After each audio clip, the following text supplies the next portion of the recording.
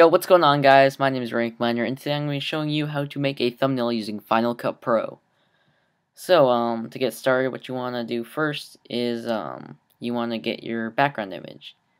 In my case, I chose this cool background image I found, I think. I don't know where I found it, but I found it somewhere, and I thought it was cool. So I decided to use this as my background. So, I got my background, and then I got my Minecraft dude, my Minecraft skin. So, um, I guess this is maybe more of a Minecraft skin. Not Minecraft skin, that's not what I meant to say. But, um, whatever. Um, so I just shrunk my Minecraft dude down to size, and, uh, I made enough room so that I could put text. So, um, yeah. Oh, yeah, forgot one thing. Then I uh, did some color corrections, and um, I just kind of wanted to change how the background looked. That would look a bit cooler, so I just experimented um, looking at different colors. Um, so I think eventually I chose bluish, bluish, bluish, yeah, bluish. Cool. Um, yeah, so I got that, and then I uh, chose my text. So um, what I'm making here is my text that's going to say, um, what was it? Oh! How, how to make a thumbnail using Final Pro. Okay, yeah, I got it. I remembered. I remembered. Don't worry. So, um, I made my text. Um, I increased the size enough so that's easy to see. And, um, also so that doesn't hit the borders. So um, I got that. Eventually I uh, changed this, so uh, yeah, stay with me. Um, and then I chose my font, which is very important to me. I think choosing font is super important. Um, well, to me, it's really important to it.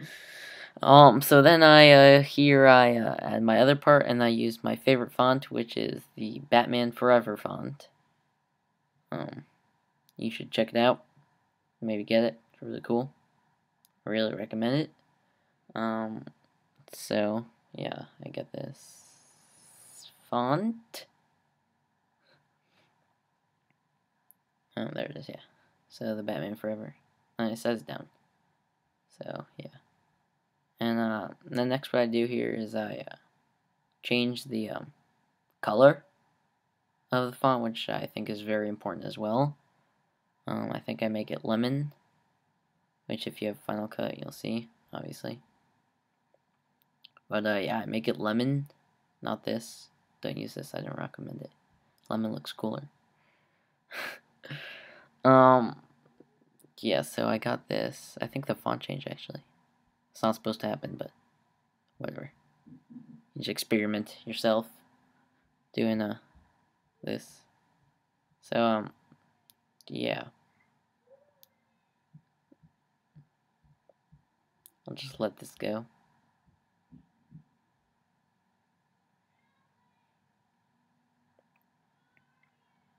Okay, so after you have this, you're, I think, you're almost done.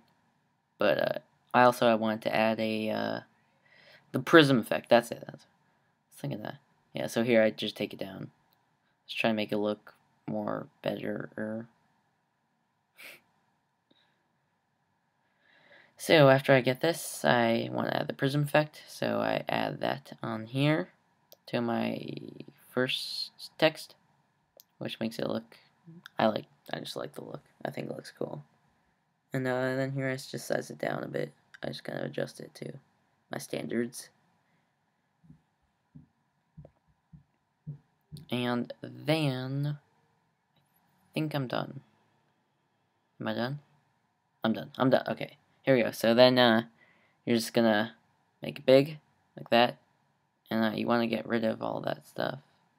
I still had that like little thingy in the middle, if you can see that. So uh, I uh, tried to fix it, but I couldn't, so I had to exit out, and I had to unhighlight the uh, basic text one, which got me this, and then I paused this, got up, and I took a screenshot, which you can do by pressing Command or Control F4, or maybe it's Command F4. Try one of those. But I did that. Actually, yeah. No, it's Command 4. Do that. Command 4. Um, then you just drag what you want, and then you got it. Um, yeah, so uh, that's it. If you guys enjoyed, like, comment, subscribe, and I guess I'll see you guys next time. Peace.